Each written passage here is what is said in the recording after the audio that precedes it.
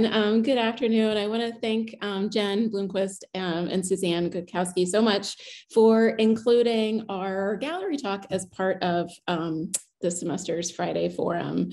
Um, first of all, I want to um, just say that I wish I wish we could all be in the gallery together um, this afternoon, but it looks like we're near 100 participants. So it's not quite yet safe for us to gather in this group, big group, but I do want to invite you to um, stop in Schmucker Art Gallery to see the faculty's incredible work. So the exhibition is open today, um, brand new, um, and it'll be up through March 4th. I'm going to then turn it over to the faculty very, very briefly um, uh, in just a minute so that they can speak about their work. And then we'll have some time at the end for questions. Um, so I'm going to share my screen. Hopefully you all can, um, can see this. Uh, so we are open Tuesday through Saturday, 10 to 4, although we are not yet holding in-person events. I want to thank uh, the people who have made this exhibition possible First of all, the faculty, Mark, Tina, Austin, John, um, Henry, and Amanda, who have been so wonderful and easy to work with um, and for sharing their art with us. Um, I also want to thank Derek Rosenberry for installing the beautiful exhibition and making sure it opened on time, and also to Leslie Castile for all of her tireless work on just about everything for Schmucker Art Gallery and the art department. Um, a couple of quick announcements. We're hoping to have a closing reception, I think on March 1st from 5 to 7, if everything um, kind of returns a little bit back to normal. Um, I also hope that we can keep our plan for to host another Friday forum in the gallery on February 11th, this time featuring our student curators uh, for the exhibition that's in our project space, Artwork, Labor, Identity, and Society. Um, first year students, there's a link in the chat box to an attendance sheet, a sign up sheet. Um, I'm gonna post that again once, um, once the faculty get going if you haven't seen the link yet. Um, and then I'm going to just share, before I turn it over to the faculty, I'm going to share just a few installation shots um, with you so we can all get situated and imagine ourselves in the gallery today. So this is sort of looking, walking through the doors and looking down, um, seeing Tina's work on the left, Amanda's work on the right, Mark's um, big, beautiful sculpture in the center, and uh, Austin's paintings along the wall and then turning around the corner, um, John's installation of drawings, another work by Mark on this wall. Um, and then um, on the right, Henry Gepfer has a video and um, another one of Austin's paintings. And I want to mention too, um, Henry's not able to join us today, but I have a video link uh, for, of him speaking about his work that I'll share at the end of the talk. So now I'm going to turn it over. Have two more installation shots of Mark's work, Tina's work, and Austin's paintings on the right. And now I'm going to turn it over to, to Mark Warwick. So thank you all for being here and hope to see you in the gallery soon. And uh, I'm hoping Shannon's going to put up the slide of the uh, slide, of the image of the, uh, oh great. For those of you who don't know me, um, I was born in Liverpool, England, and I studied sculpture at Wolverhampton Polytechnic in England, and also the New York State College of Ceramics at Alfred University in New York. I primarily work with steel and stone, but drawing is an important part of my working process. I draw every day. I'm exhibiting a few drawings in this show, one that you can see right here from a few years ago, and another more recent to show how I use drawing to think about sculpture. But the end for me is always sculpture. One of my favorite quotes comes from Ad Reinhardt, the painter. Sculpture is something you bump into when you back up to look at a painting. I also use, I'm laughing inside right now. Mm-hmm. I also use cardboard in my working process when I'm thinking about sculpture. It's much less expensive material and it's also forgiving. Cardboard can give me a good idea of what my pieces will eventually look like in steel. I don't use a great deal of color in my work. For one thing, I'm colorblind. But I also concentrate much more on shape than I do on color. The one reoccurring color I use looks like rust, which actually is rust from a chemical patina. And I often cover it with linseed oil to slow down the process of change. Can you uh, change the slide? Thank you. The scale of my work varies considerably from small gallery pieces, which are sometimes maquettes for bigger pieces, or sometimes pieces in their own right. I make medium-sized pieces, often for intimate spaces like courtyards, and I make larger monumental sculptures which are located outside in public spaces, such as in Chicago, which is a wonderful city for sculpture, by the way. I participate in invitationals around the world where I make sculpture on site, sometimes with the public watching me. I really enjoy the challenge of having a limited amount of time to work on a piece. I also like to interact with the public as they ask questions about my process, my ideas, and even the tools.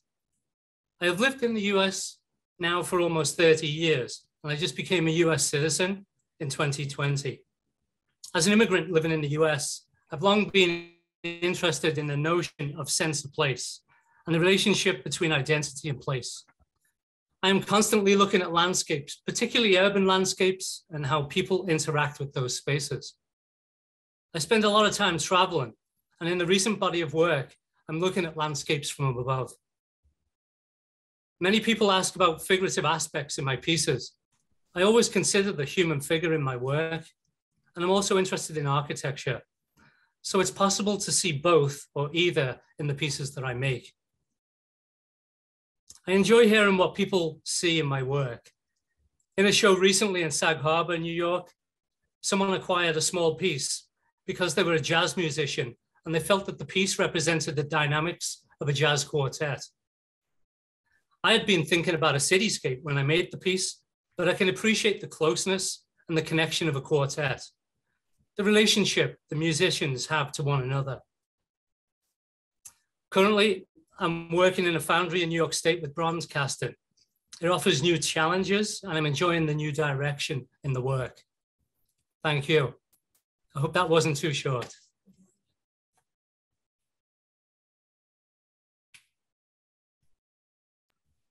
And I am going to, um, I think, jump ahead to um, Austin. So we'll come back to Tina. So just um, we have Austin next. Thank you, Shannon. And actually, you can just yeah put up the painting. Thank you.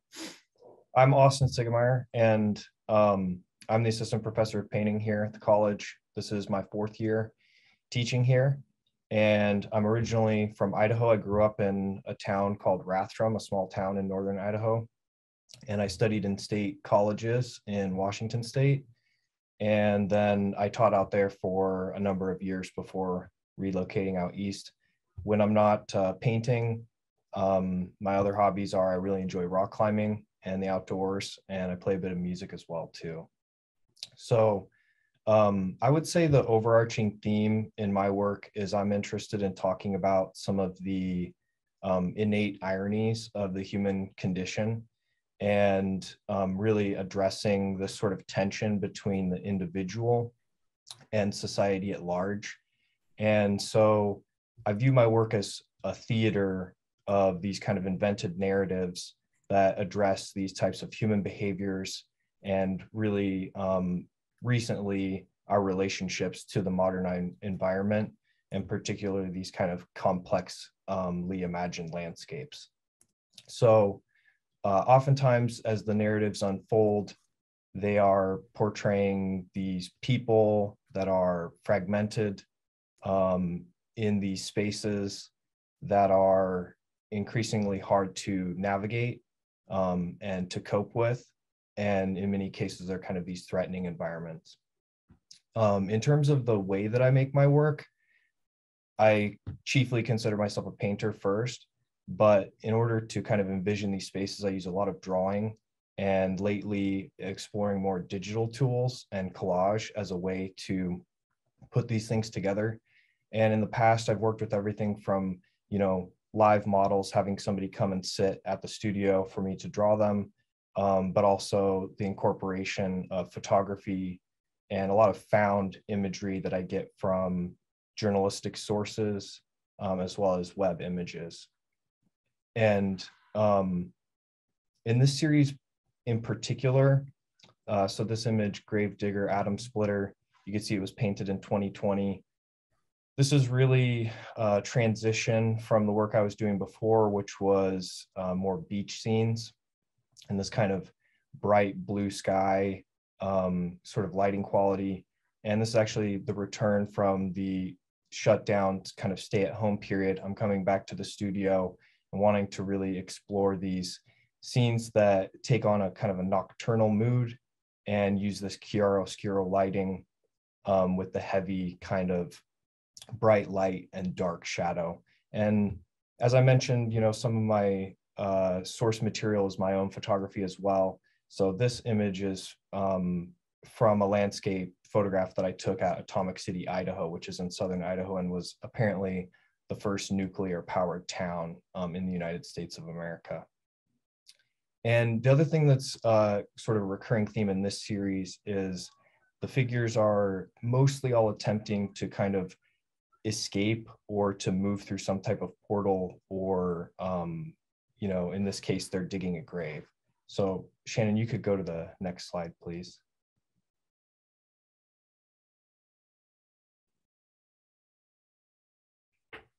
This piece is titled Rub a Dub, and again, I'm looking at um, the human figure and the contemporary environment, and um, you can see in the background, this is actually one of the tents that was out on campus um, as a part of the you know institutions idea to be able to cope with the effects of the pandemic. And so um, again i'm really thinking about the lighting but also this um, idea that the figure is faceless and that they are um, there's kind of a focus on the doorway of the tent as well as that this figure is like passing through this donut form of the inflatable, uh, the inflatable.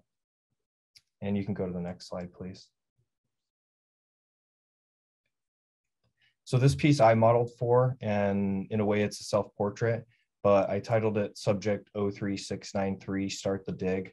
And um, in it, I'm again, you know, investigating this nighttime landscape, trying to speak to just, I guess, some of the anxiety of the unknown and thinking about this dark sort of space where figures are sort of in between these two realms. And so using the digging of the grave as a way to, I guess, talk about the part of the human condition, which is obviously life and death, um, but being stuck between these two spaces.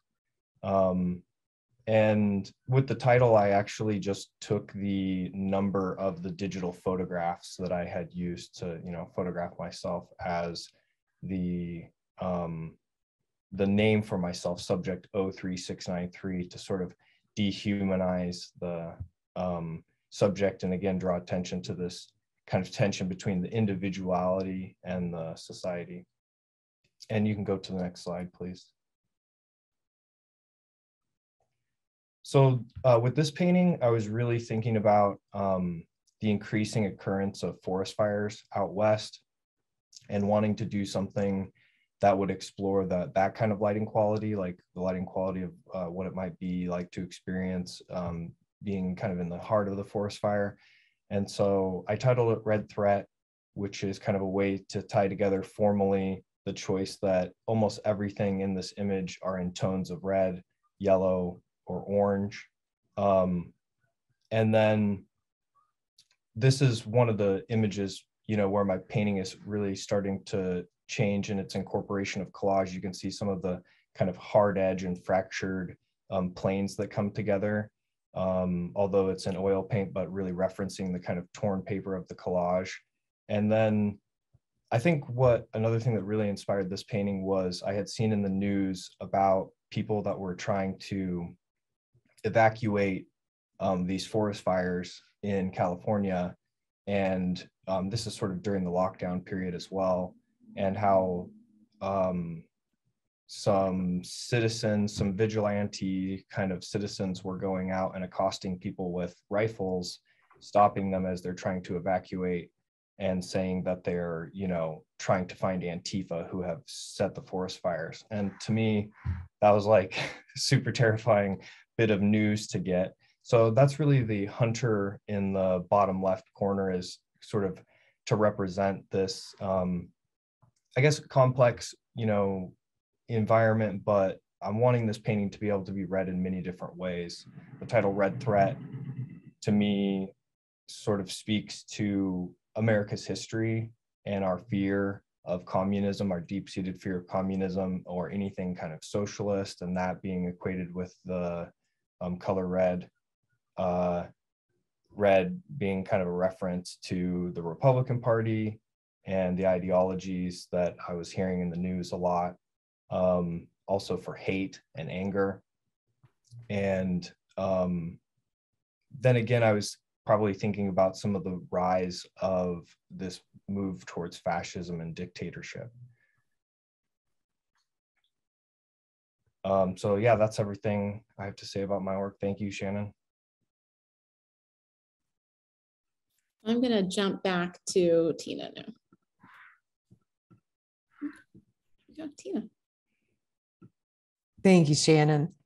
Okay, so there um, for my work, there's lots of possibilities of um, how to talk about it, um, and jumping back and forth between them can sometimes be a little bit much. Um, and so, if we could go back to that first image. There we go. There we go.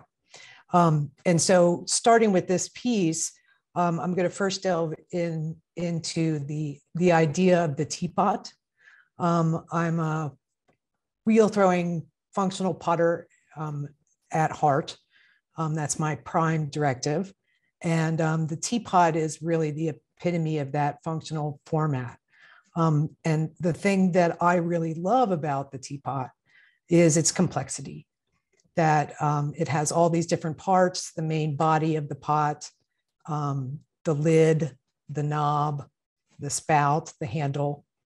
And these parts of the pot come um, to the pot in a sequence um, that one starts with the body of the pot, resolves the idea uh, and the form of the lid, um, and then the knob comes, and then the spout comes, and then the handle comes.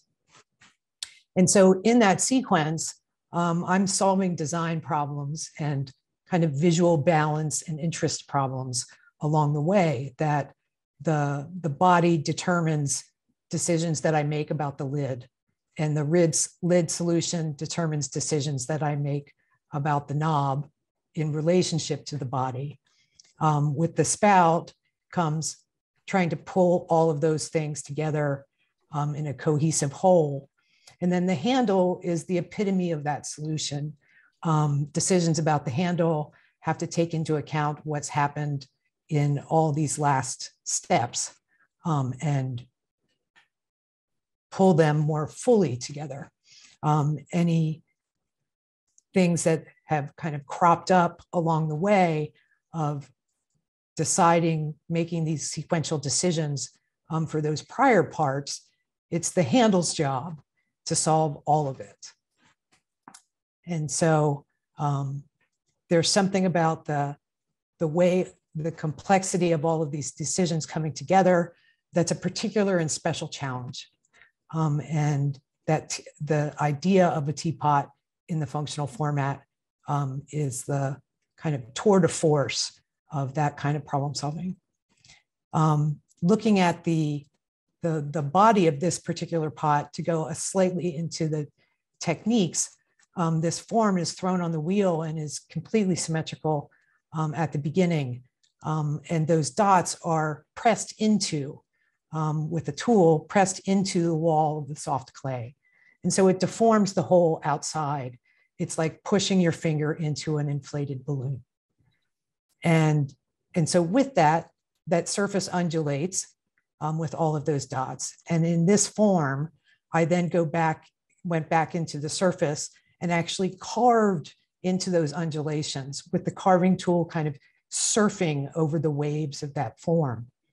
And so that slight undulation line that's happening on that surface is from that tool surfing the waves. Um, this is a, a, usually a technical problem that intro students fear. Um, it's a, a, a, trimming challenge um, that usually rocks their world and causes all sorts of problems. Um, but using that surfing um, as an aesthetic kind of result um, is a special walking the line between technical proficiency and skirting with ceramic disaster. Um, and so there's something about something special about this piece um, in using those two things together in the midst of all of these other parts um, coming to a design solution. Next slide, please. And so with my challenges with um, early onset Parkinson's, um, I typically was using very stiff clay to do some of these alterations on the wheel thrown forms. Um, because the stiffer the clay, the more tolerant it is, the stronger it is um, for dealing with those pushes into the surface um, and the pot's still standing up. Um, but with my particular challenges, I found that I really needed and benefited from going to much softer clay. Um, I could um, do what I needed to do, except on, on the wheel, except um, it wasn't going to be as tolerant of these vigorous alterations. Um, and I, I wanted the, the simplified challenge of making small um, for a certain kind of ease and trying to pack all of the form considerations that happen in a more complex teapot into the tiny and often overlooked form of format of a bud vase.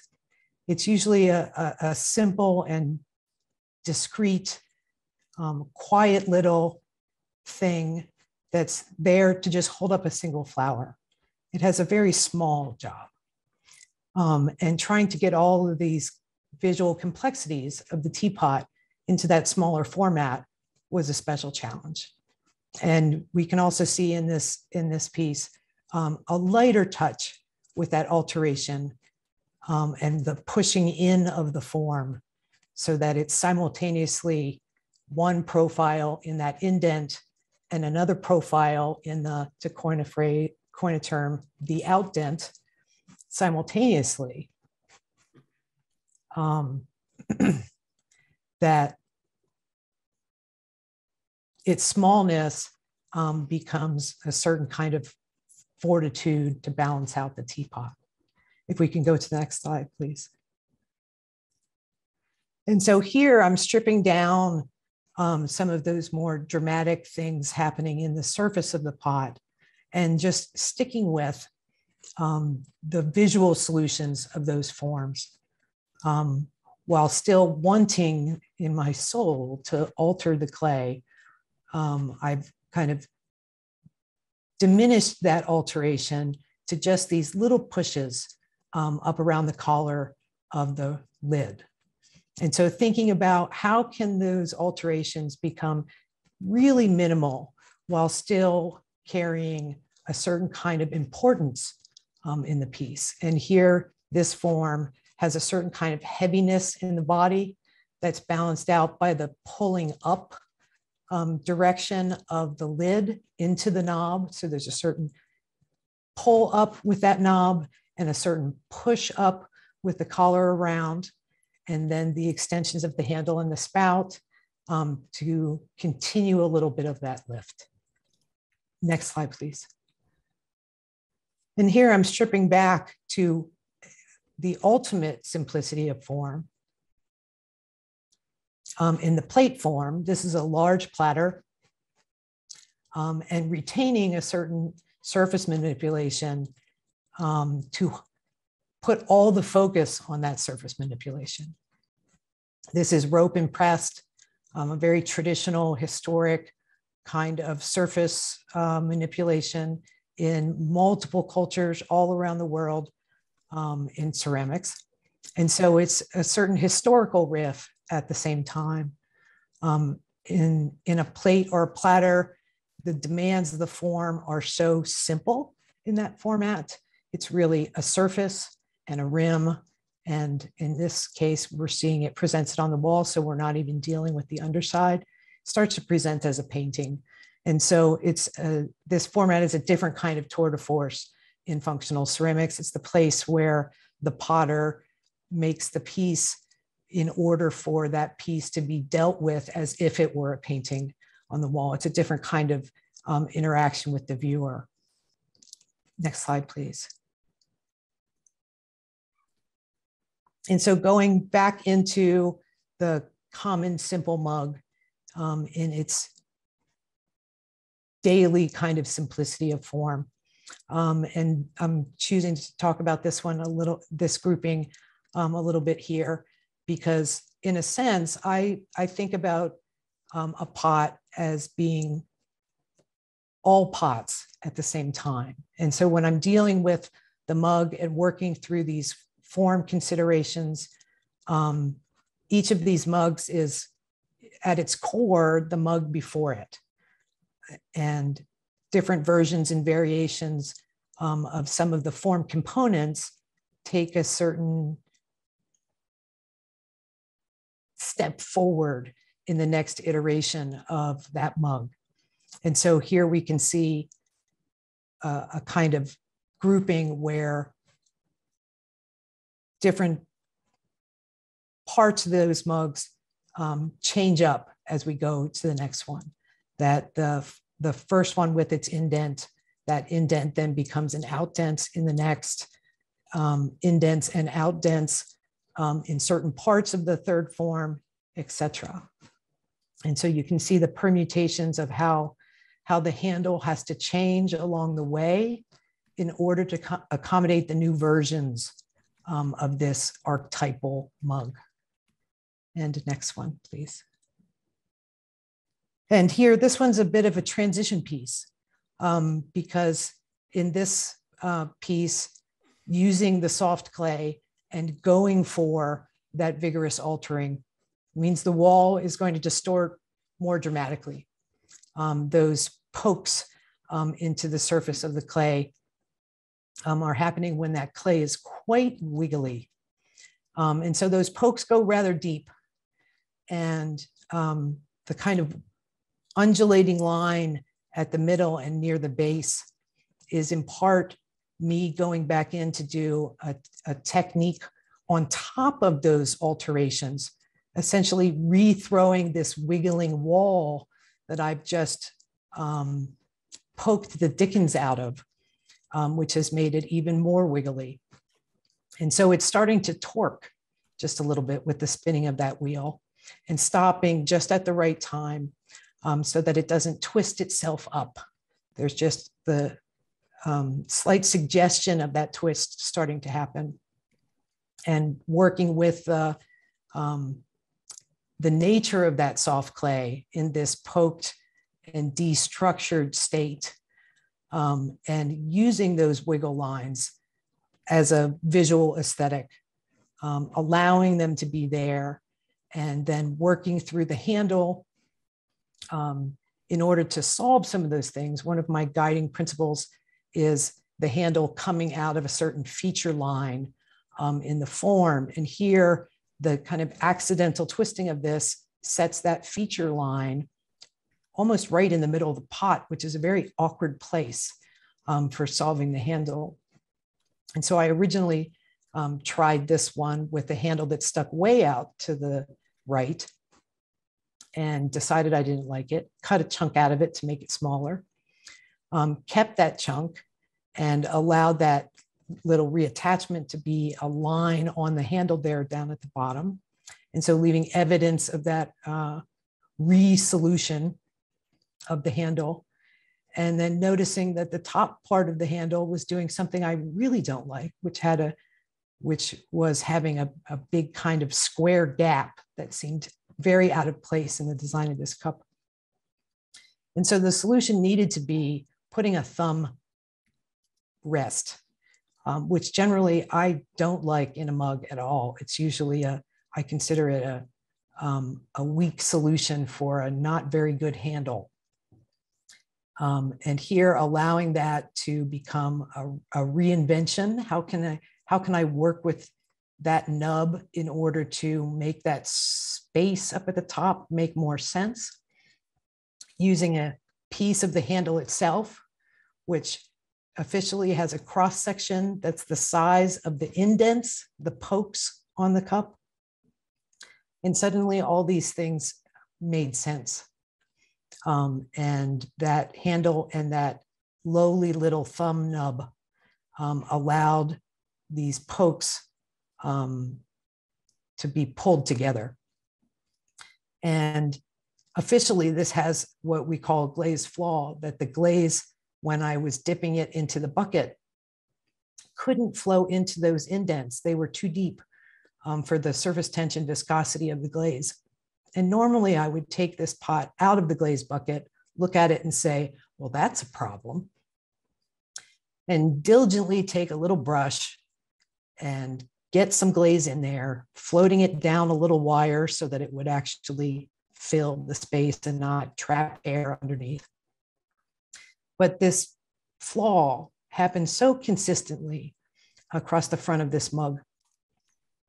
And it highlighted the indents, these pokes, um, so beautifully. And it seemed to be with the nature of this whole mug and all the funky little solutions that I was solving along the way. I allowed it to stay the way it came out of that bucket. And so this is a really interesting transition piece for me um, of using all of those supreme design resolution strengths and doing it with a piece that has things that I might consider problematic issues a twist, a poke that is much too deep, a wall that's starting to be undermined, a thumb nub that I've solved in order to make something else work. And so this may be a place um, that I continue to play in. And normally, experimental work I might not show, but um, this one I thought was important too. Now, sorry I've gone a little bit long. Please forgive me.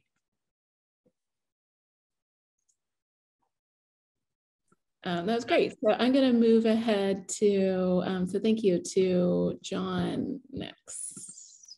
Okay, go ahead, John. Um, hi, everybody. Um, so I uh, I come from a graphic design background, or at least that's what my training is. But I've always been a cartoonist, um, and and as well as kind of working in sort of a commercial realm. Um, I've been teaching various kind of cartooning and sequential art for about 30 years. Um, I've been teaching here um, at Gettysburg for 15, um, where presently I teach drawing and graphic novels to film, which indeed is comics adapted to movies. Um, so, uh, unlike you know, uh, you know, most of the work you see in a gallery, my work is primarily, or its purpose is commercial. Its endpoint. Um, I've been doing a comic strip called Daddy Daze, uh, spelled D-A-Z-E, for about four years. It's in about uh, it's a syndicated comic strip. It's in about 80 newspapers. It's on the internet and all of that kind of stuff. Um, it is a daily comic strip. So I need to do one, you know, I need to do, I need to have one comic strip done for every day. At this point, it's about 1,300 comic strips, um, which, you know, seems like a lot, and it is a lot. Uh, although I have a lot of colleagues, friends who are my age who have been syndicated for decades and have done a lot more. So if I was to tell them that number, they would they would thumb their noses at me. I'm going to talk a little bit about the nuts and bolts, and then I'm going to talk about meaning. Um, so I did another strip, um, a comic strip called Bo Nanas in the in the aughts for about four years as well, and uh, you know, going back that whopping decade and some change, uh, things had changed a lot. Um, the internet became more important. Um, all daily comic strips as well as Sunday comic strips need to be done in color. And I knew the amount of work that was going to come up when I was doing this new strip. So I decided I needed to streamline the process to make it more efficient. Um, to that end, um, I started working, you know, going from basically Bristol board, which is a, you know, pretty nice paper, to going on to drawing on plain old um, uh, copier paper when you get right down to it, because I needed to scan these. Um, I needed to scan them on a, you know, regular old standard um, uh, scanner and then be able to drop this art into the panels that I already have made in, um, in Photoshop. Um, I do keep this to four panels. I keep my Sunday strips to six panels, specifically so they can be stacked when you're reading it on the internet, or also that the newspapers can stack them in different ways. So it's a little bit different. I used to, you know, go between one to four panels with my other comic strip.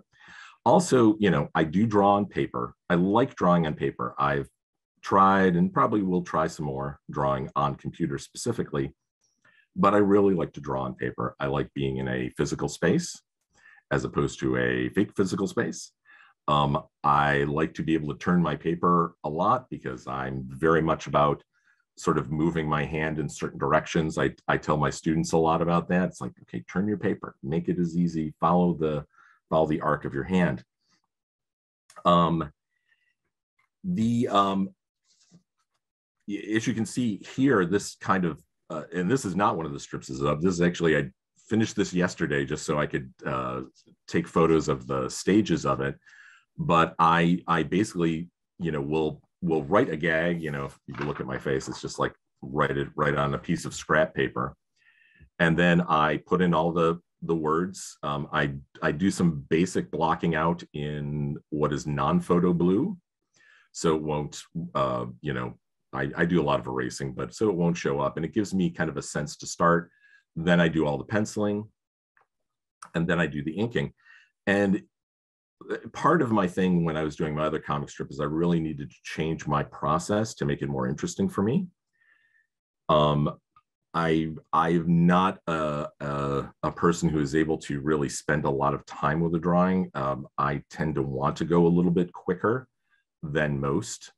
Um, I I do abstract expressionist painting, which is very much that, and so it it certainly lends itself with that. And then so to speed this up, I actually started working with you know whatever I had, and part of that was these cheap markers I had from Staples that I started inking with, which really didn't you know after about a year I was like this is a mess. You know they were too bloody in places. They it, it was just too hard, and I ended up making a transition. Uh, I used to work with a brush that I would dip in ink and then draw, and I really liked that line. I liked the line quality. I liked the line variation and I had a friend of mine who'd sent me a bunch of uh, Japanese um, brush markers. So not don't have to dip them, can just draw with them.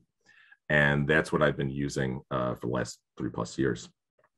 Um, this so on the very right hand side, you know that is uh, that is the finished state of the art, and that's what I have up in the gallery.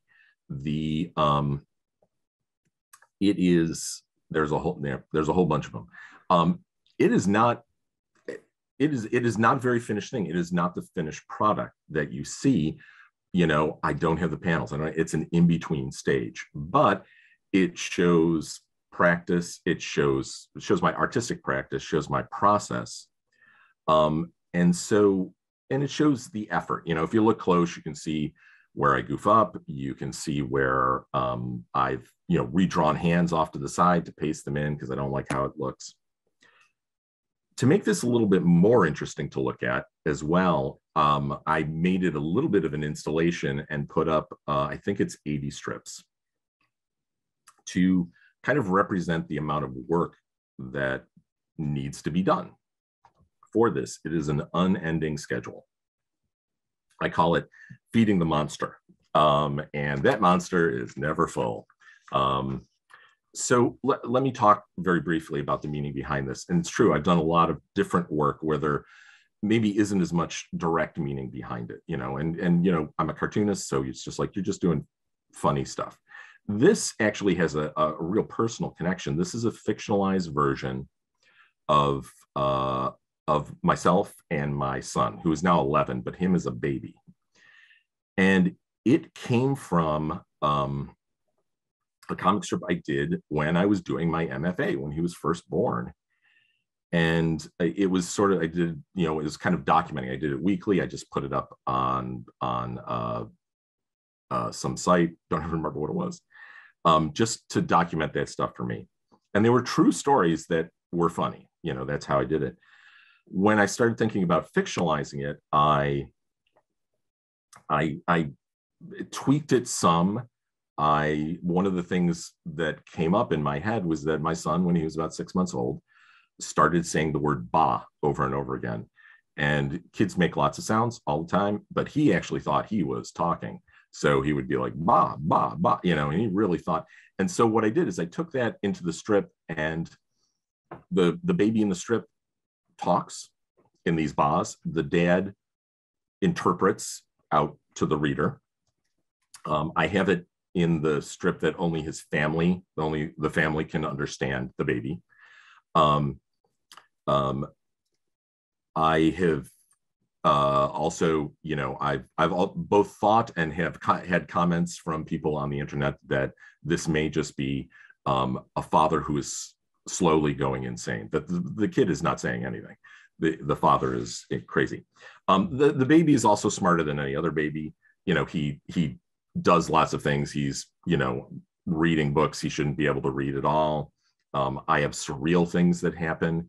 Uh, you know, the thing about a baby being smarter is just, you know, I can have a little bit of fun with it. But a lot of times for people who have kids, you you can realize how much smartness your kids have, smartness, you know, intelligence. There's a lot of surreal things that happen that usually happen off panel, which, yeah, it, it can be a little bit certainly fun and it's fun to have a, you know, of the thought of a kid doing this, but that in some ways represents the crazy stuff that kids do or kids get into that you don't, you know, you don't have a concept of. Um, there, you know, I work in things like parental worry. Um, sometimes I actually have a series going on right now that's like all about just a, a parent who is just beaten down.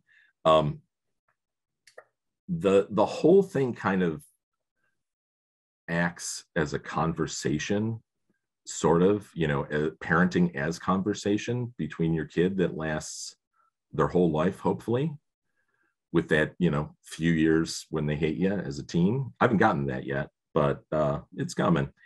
Um, and the other thing too is that you know it this this does very much so seem like me and my kid. My kid's 11 and one thing i have in there is there's a lot of affection. There's a lot of hugs there's a lot of kisses um, that still goes on now with my kid that should end any minute now um, uh, i'm expecting 45 minutes tops it'll be over um, so in a lot of ways this is sort of a fictionalized it's certainly a fictionalized version but it is it has kind of tones of reality in it. So anyway, thank you.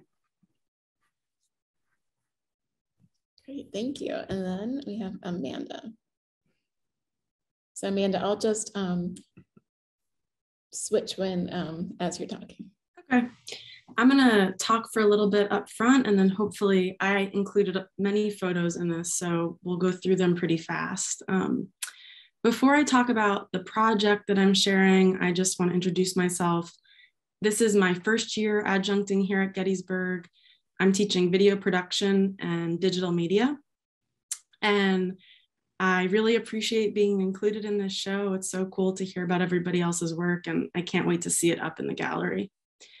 Um, my background is primarily in documentary arts. I've spent many years now doing a variety of different things with that basic entry point, everything from working as a community journalist to being in the digital strategy side of a strategic communications office. And all throughout the way, as I'll kind of explain about my process in this project, my entry point is always experience and always people, being community with people. So, this project, for instance, is um, a document that started as a pretty straightforward still photography um, project about a women's tackle football team in Durham, North Carolina, as they like embarked on their season. And what I'm sharing is uh, black and white photos that are newsprint posters and are one facet of a much bigger sort of body of work that spans experimental film and installation and basically from the entry point of documenting their season became many many uh, things so you can go to the next slide. So to, to kick off like how do you even pick a project when you're a documentarian? Where do you begin? You're usually it's just a feeling of curiosity and some googling. And in this place i was really um, i'm really interested and you know motivated by this like search for female power and togetherness and you know questioning like how are our identities formed you know through our daily lives? And so i had this idea that maybe women's football existed but didn't know and did a little bit of research and found out that not only does it exist today in the town that i was living but women's tackle football has existed since the 1930s when women started barnstorming just playing uh, casual pickup games and it developed into a whole system of semi-professional teams and this, if you get into the history of women's tackle football, is a photo of the Toledo Troopers, who are the most famous team. Um, Linda Jefferson was the like voted women's athlete of the year in 1973. And she's sitting in the middle here of this team photo of them together in the 70s. So you can go to the next slide, Shannon when I found that out, it really gave me like a deeper connection and purpose to the project. I already was invested in the idea, but I showed up at a preseason practice of the local team in Durham and just felt an instant connection to the team and to the story. And without knowing where it would go, spent the next six months traveling around with them and getting to know them as best I can as people on and off the field, and starting to explore why women's football is playing such a important role in their lives at the moment, and why I, as a woman myself documenting, felt so empowered by the environment. You know, I think this picture is emblematic of the fact that we don't see a lot of photos of women women's sports. It's just underrepresented and is, you know, is emblematic of a much bigger, larger social issue of women's stories being underrepresented and not seeing them in, you know, in empowered and aggressive spaces as often. So this team sort of transgressing that historically entrenched model made me feel as a woman like I too could explore things in my life that maybe I was afraid of trying or didn't feel like was expected of me. So there's many, many anecdotes and things that I could say about every photo, but two things I want to leave you with is um, I decided to print these on newsprint and black and white because I wanted to try and make the photos feel somewhat timeless and not like they were unusual because it was a women's team just like it would be any any sports team having what turned out to be a championship season, winning their essentially their Super Bowl at the end of the season, which was, you know, very lucky on my end after spending all those months documenting. Um, and seeing like how that material itself would age. So the photos that are in the gallery are like not treated. They were printed in a old school printing press at a small newspaper in North Carolina that let me borrow their equipment and worked with me to print them. And they were mass produced. And they've yellowed and they've changed a little bit. And for me now, showing them here, it feels like sharing not just my artwork, but like a personal um, piece of ephemera of history that many people often don't get the chance to see and don't get the chance to learn about. So this last photo, I think the next one is um, on the field after winning the championship game in Texas and just like the pure bliss and excitement that you know, some of the women on the team had played many, many seasons and were in their late 40s and maybe risked serious injury playing tackle football, but felt so uh, empowered and like themselves on the field that to be to be the champions at the end of all that was really really beautiful thank you shannon Thank you. So if y'all just have um, five more minutes or so, um, Henry uh, couldn't be here today, but they uh, shared with me this video. Um, and so I hope this will play. Hi there, folks. Can everyone hear you? that? A thumbs I'm grateful to be sharing some virtual space with you, even if I can't be there in a live capacity. My name is Henry Gepfer. I teach printmaking at Gettysburg College. Um, and in the gallery, you'll see I've got three prints and a video for you to check out. Uh, despite the fact that I teach print and I'm trained as a printer, uh, I'm equally fascinated by photography, video, and performance. Um, I'm really interested in print, photo, and video, particularly because they constitute a linear trajectory of forms of graphic communication meaning all information that you're going to consume on a daily basis is going to either come to you in the form of print, uh, through photo, or through video. And this really begins when print uh, is deemed a viable form of democratic uh, distributed material. Um, and it's accelerated uh, once we hit like peak capitalism in the 20th century. Um, I love how these things kind of intersect with the Situationist International idea of uh, spectacle. Uh, and this idea that all of this stuff that's being broadcast to you has a particular agenda.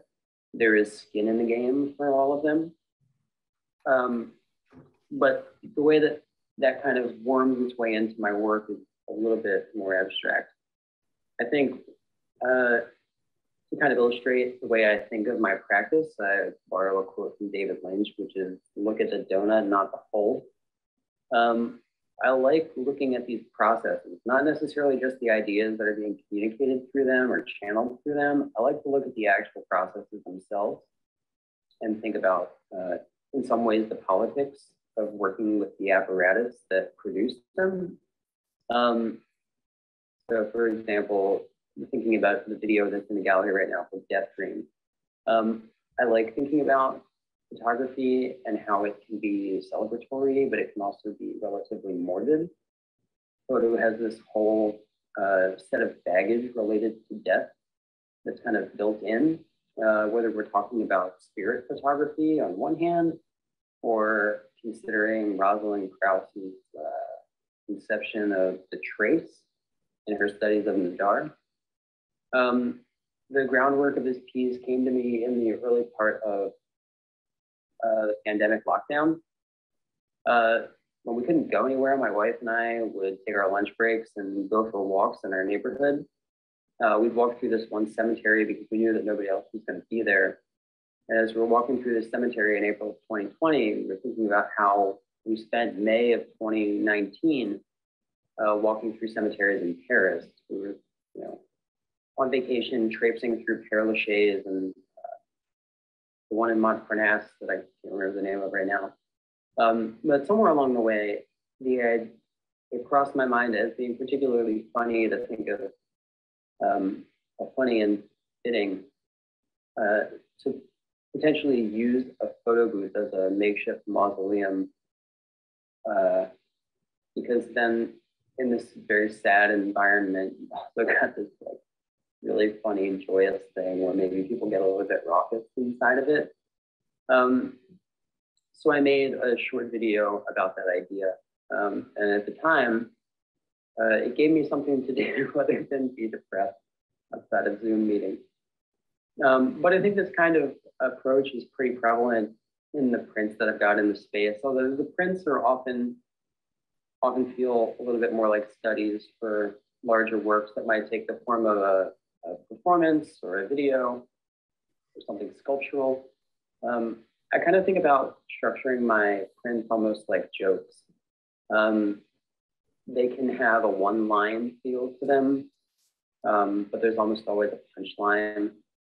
So if you look at a piece like Broadside One, which is the blue and pink and purple piece uh, that has words spelled backwards. I was zooming out and thinking about the very basic nature of making a relief print using text. And if you don't reverse your text, uh, it's going to print backwards. But to do that intentionally can bring you around something conceptually fun. Um, the color scheme I chose based on the bisexual flag and my sexual orientation and how I can never really bring myself to appropriately enunciate or uh, articulate the things that I identify with. Um, there are two Riso pieces in the gallery, I believe. Um, the one that I'd like to focus in on in the last piece I'll talk about is called a relic. Um, it's made through the Riso uh, process, but there are two uh, glossy handprints that feel really good to touch. Um, in the studio that I print for, we have this process called thermography. And thermography is, if you've ever handled a soft cover book that has like a raised glossy text, that's what thermography is. Um, so as we were making books in the studio one day, I was thinking about how fun it would be to make handprints. And then reflecting back on the pandemic and how I used to touch things with reckless abandon, like in the grocery store, in a parking lot, uh, you know, all sorts of random stuff. And now every time I'm out in public, I have to sanitize until my hands are so dry. Um, and it's really just an homage. A minute. It's a print that looks nice and maybe you'd want to touch, but I don't know if you would feel safe doing that. Anyway, I've probably gone over time at this point. Um, I really appreciate you taking the time to hear me uh, talk about my work. And if you have questions about any of my work, you can feel free to stop by my studio on Monday. Okay, well, thank you. I'm gonna I'm gonna end the PowerPoint there now. I'm not too sure if we can go over by just a minute or two if y'all have any questions for the artists, but I just want to say thank you, thank you for being here, and thank you for um, all the artists to participate.